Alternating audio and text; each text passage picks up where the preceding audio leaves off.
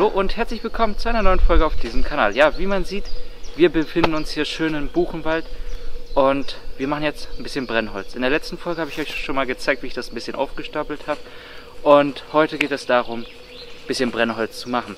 Ja, mein Vater kommt gerade mit der Kettensäge und ich würde sagen, wir fangen einfach mal an.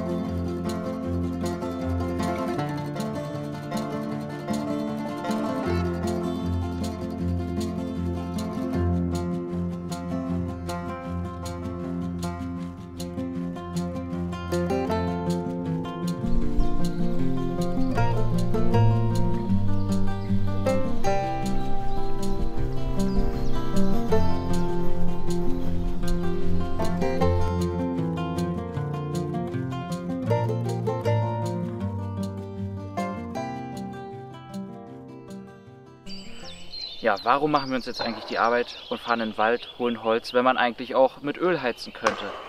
Das hat den einfachen Grund, dass Öl recht teuer ist und dass das Holz günstiger ist. Erstens, wir zahlen für unser Haus, wenn wir das heizen, wir haben ungefähr 110 Quadratmeter und wenn wir das jetzt heizen mit Holz, haben wir im, Monat, äh, im Jahr 500 Euro circa mit Werkzeug, mit äh, Kettenverschleiß, Öl und das Ganze und dem Tab das Holz.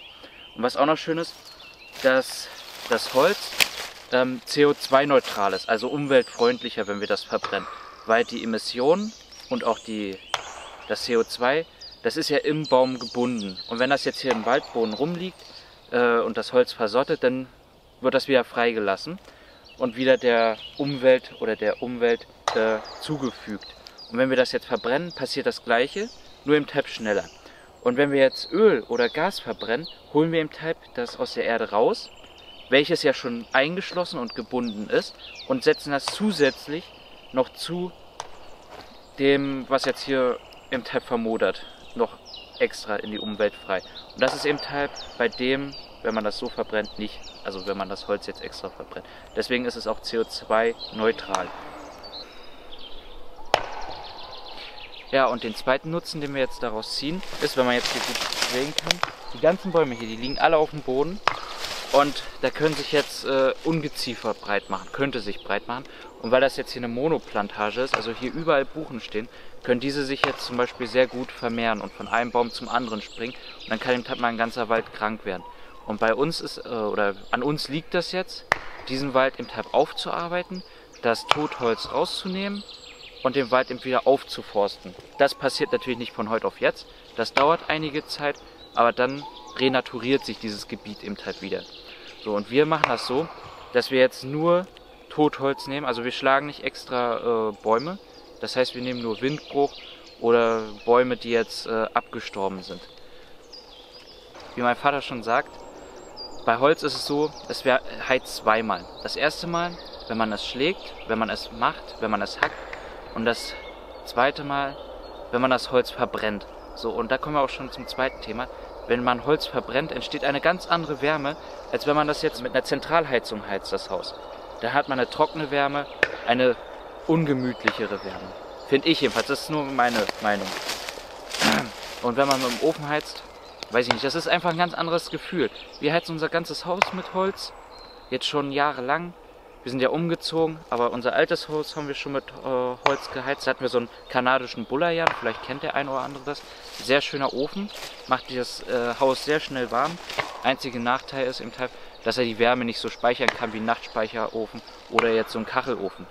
So, und jetzt haben wir einfach äh, in unserem neuen Haus so einen einfachen Baumarktofen. Ich weiß nicht, wie der heißt. Ist ja jetzt auch egal. Ich zeige euch den nachher gleich mal. Und damit kriegen wir auch unsere 150 oder 110 Quadratmeter, die wir haben, kriegen wir damit auch ohne Probleme geheizt. Auch im Winter, wenn wir jetzt minus 10 Grad haben. Jo. So, ich würde sagen, ich helfe jetzt mal meinem Vater weiter. Der hackt doch hinten schon alleine das Holz. Das muss ja nicht sein. Also, auf geht's. Wir sehen uns gleich wieder. Ja, der Hänger ist jetzt erstmal schon mal voll. Das Holz, was wir jetzt hier noch haben, das wird jetzt noch klein gehackt in handliche Stücken, dann nach vorne transportiert hier mit der Schubkarre und dann erstmal ein bisschen versteckt, weil wir das jetzt nicht mehr raufkriegen auf dem Hänger. Und hier hinten ist eine Straße. Und man weiß ja nicht, es gibt ja Leute, die klauen gerne Holz das ist vorhin auch schon passiert. Da sind zwei so eine Stücken abhandengekommen. Das ist jetzt äh, eine Lapaya, also nichts Schlimmes. Aber wenn das jetzt wegkommt, das wäre schon ärgerlich. Deswegen verstecken wir das da hinten so ein bisschen. Nehmen das hier aus dem Sichtfeld vom Weg und dann ist gut.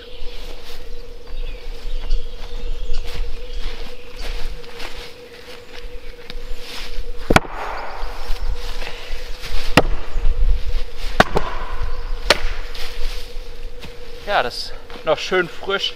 Wenn man mit der Axt drauf drischt, dann spritzt das noch richtig. Dann ist das noch richtig saftig, das Holz. Ja, eigentlich ein Jammer um den Baum. Schade, dass er umgestürzt ist. Aber für uns ist das ganz gut, weil der nächste Winter kommt wieder und irgendwie wollen wir es ja auch warm haben im Haus.